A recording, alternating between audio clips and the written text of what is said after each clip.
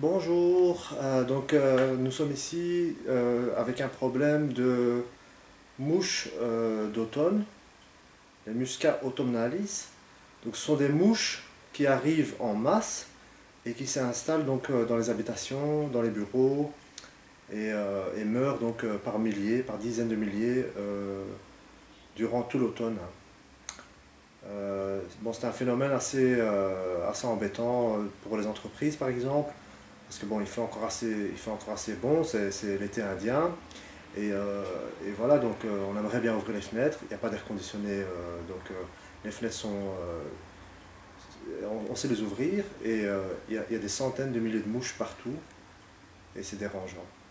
Donc il y, a des, y a des, applications, donc des traitements externes à l'extérieur et ensuite en préventif, donc on met des, des insectiseurs à mouches dans les couloirs.